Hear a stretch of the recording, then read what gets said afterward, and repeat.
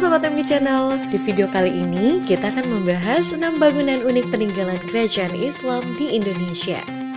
Agama Islam masuk ke Indonesia sejak abad ke-13. Hal tersebut dibuktikan dengan adanya peninggalan-peninggalan sejarah kerajaan Islam di Indonesia.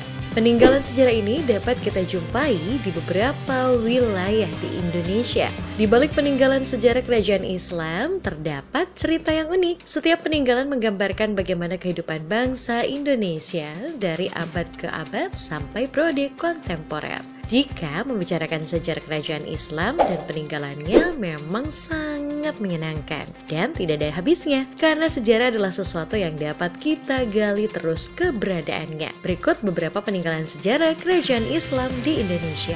Tapi sebelum kita lanjut, kita mengingatkan kembali nih guys, jangan lupa ya, like, subscribe, dan tanda notifikasinya diaktifkan juga ya guys.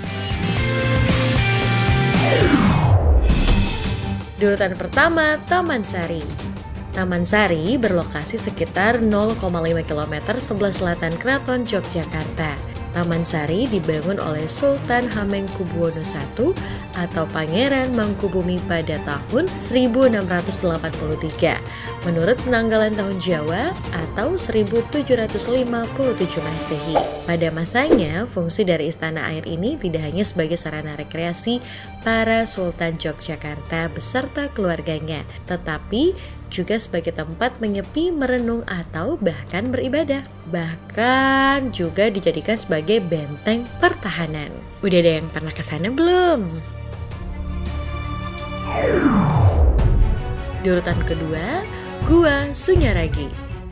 Gua Sunyaragi, Cirebon, terletak di Jalan Brigjen Darsono, Kelurahan Sunyaragi, Kesambi, Kota Cirebon, Jawa Barat. Gua Sunyaragi juga dikenal sebagai Taman Air atau sering disebut Taman Sari Sunyaragi, dibangun pada 1703 Masehi oleh Pangeran Kararangan. Gua ini memiliki keunikan pada bangunannya arsitektur guna berbentuk gunung-gunungan seperti rumah semut. Gua juga dilengkapi terowongan penghubung bawah tanah dan saluran air. Tujuan utama didirikannya gua ini sebagai tempat istirahat dan meditasi bagi para sultan Cirebon dan keluarganya. Di urutan ketiga, Gunungan.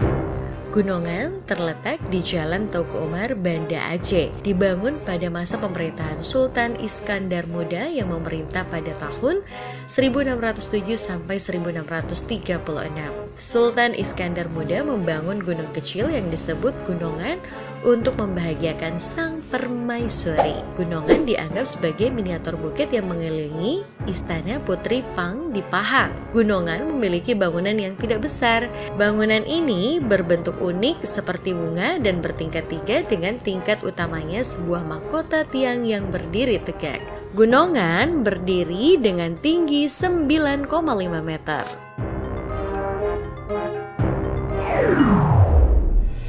Di urutan keempat, Benteng Liatogo. Benteng Liatogo terletak di Desa Lia Raya, Kecamatan Wangi-Wangi Selatan, Kabupaten Wakatobi, Provinsi Sulawesi Tenggara. Konstruksi benteng yang tersusun atas batu-batu tanpa menggunakan perekat semen merupakan keunikan tersendiri dari benteng peninggalan Kesultanan Buton ini. Benteng Liatogo yang tersusun dari batu-batu itu dibangun di atas lahan seluas 30 hektar lebih. Wah, kebayang kan luasnya?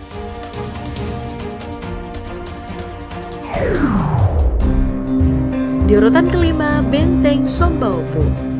Benteng ini terletak di Jalan Deng Tata, Kota Makassar, Provinsi Sulawesi Selatan. Benteng Sombaupu dibangun oleh Raja Goa ke-9, Daeng Matarne Tumaparesi Kalona pada abad ke-16, yakni pada tahun 1550 hingga 1650 Keunikan bangunan ini dibangun dari tanah liat dan putih telur sebagai pengganti semen. Benteng kokoh ini berbentuk segi empat dengan panjang sekitar 2 km, tinggi 7 hingga 8 meter, dan luasnya sekitar 1.500 hektar. Seluruh benteng dipagari dengan dinding yang cukup tebal.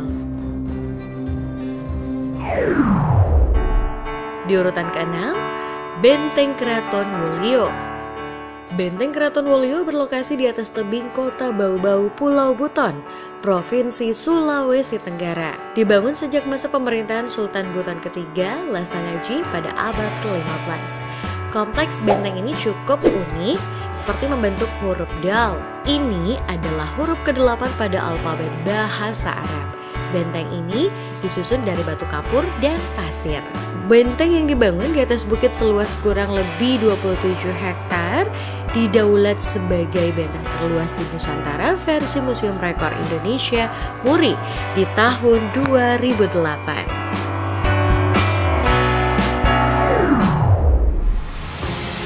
Nah guys, itu dia 6 bangunan unik peninggalan kerajaan Islam di Indonesia versi MG Channel. Kalau kalian tertarik dengan video ini, jangan lupa ya share ke teman-teman kalian agar video ini bisa memberikan manfaat dan pengetahuan buat semuanya. Sampai jumpa di video-video versi MG Channel berikutnya ya guys. Bye. Semoga bermanfaat. Terima kasih sudah nonton video ini. Tapi jangan lupa ya guys, klik tombol like dan subscribe karena subscribe itu gratis. Dengan subscribe, kalian akan support channel ini untuk upload video hampir setiap hari.